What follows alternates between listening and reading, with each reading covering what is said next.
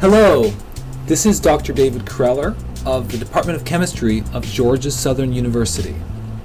In this mini video lecture, which has been designed for students of instrumental analysis, I'm going to be talking about the standard addition method.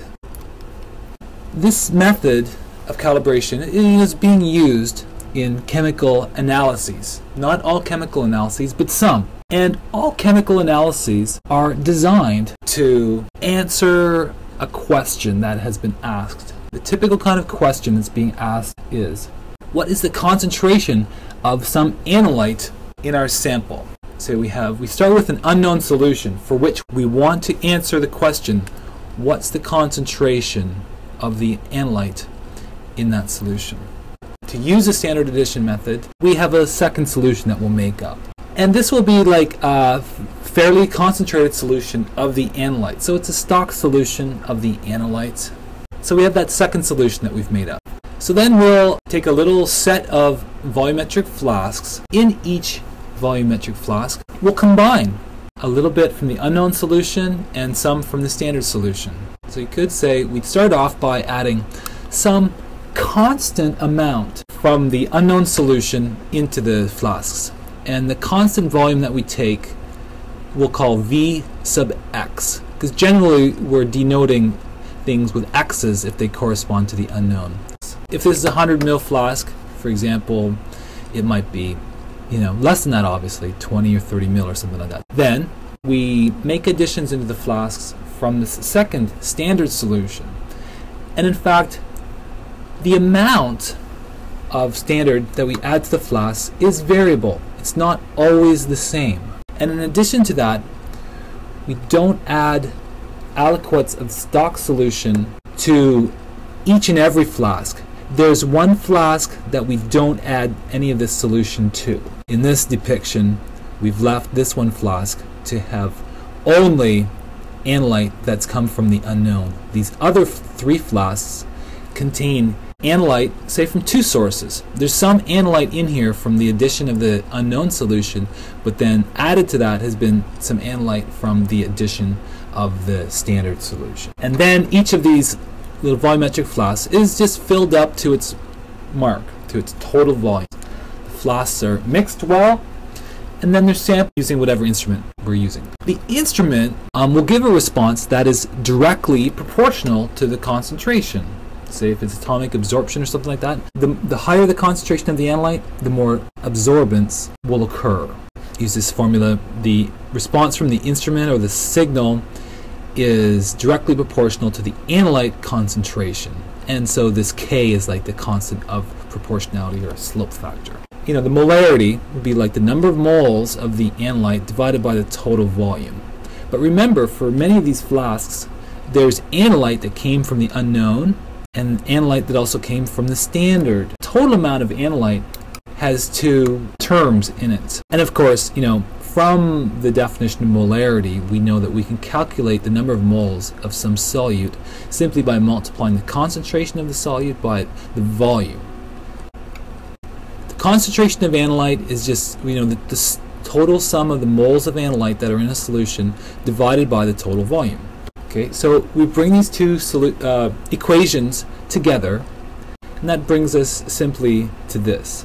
Remember that, okay, this is just a constant. K is just like a proportionality constant corresponding to the sensitivity of the instrument. C sub x is a concentration of analyte in the unknown. That's a constant as well.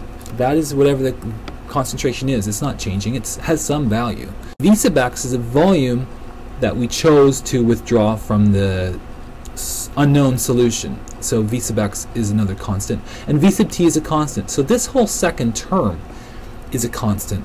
It's starting to shape up like equation of a line, where what we would think of as y, or being on the vertical axis, is simply the uh, signal, and the x, the variable, is the volume of standard solution that has been added.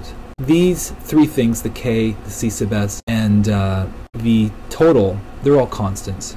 That's just, uh, we take these constants, pool them together, that's just a, that's just a constant, and which is like a slope factor. If we make up a bunch of solutions, And in those solutions, we put constant amounts from the unknown solution and varying amounts from the standard solution, and then analyze them with our instrument. We can get a plot like this. And if we graph this data, this, this response or instrumental signal as a function of the volume of, of standard that was added. You know, remember it's not always the same. And there's one in one solution in which we don't add any of the standard. Okay, so we get a graph like this. Okay, this is all fine and good. This is a nice exercise in instrumental analysis and in mathematics. See, what the pro this whole process is about is determining the concentration of the analyte in the unknown.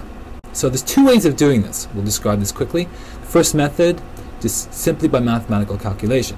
Okay, so remember we have this graph. Just remind ourselves that this looks a lot like a line with this the y-intercept is this term and the slope is this. You know, we would have used a process like linear regression, least squares analysis, to determine the best fit line.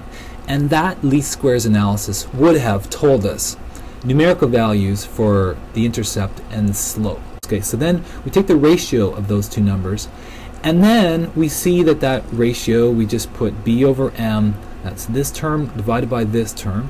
And so then, well, some nice things happen.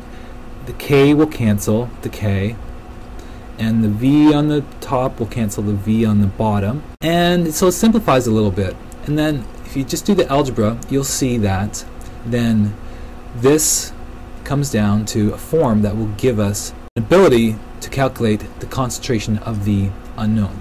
So that's the first method. There's actually a second method that we can use here in the standard addition method to tell us the concentration of the analyte in the unknown.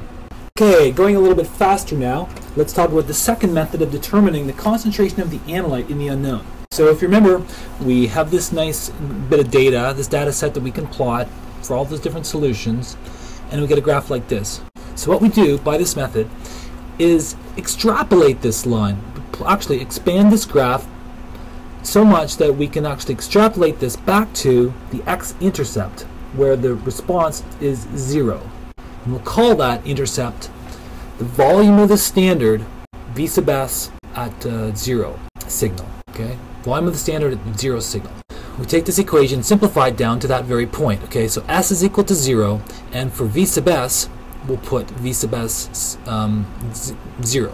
And so now, then just by some rearrangement, we take this term, move it to this left-hand side of this equation, and then just on this right-hand side, we just leave this. And of course, now there's a negative sign in here. We also see that, okay, so now when we equate these two terms, some nice things happen. K's cancel once again, and total volumes cancel. It simplifies. And you would find by rearrangement that this simplified form would give you an ability to calculate the concentration of the analyte in the unknown solution. Now there's a negative sign in here. Why? Well, it makes sense. This uh, volume of standard that's been added at the point, extrapolated point where there's zero signal is actually a negative number, right? It's on this uh, left-hand side. So that's a negative number. Then you multiply the negative number by the negative sign, and it all turns out to be positive. So it's all good. It's all positive in the end. So thank you very much for watching my videos or this video about um, the standard addition method instrumental analysis. And if you like Borat, you think that instrumental methods of chemical analysis are very nice.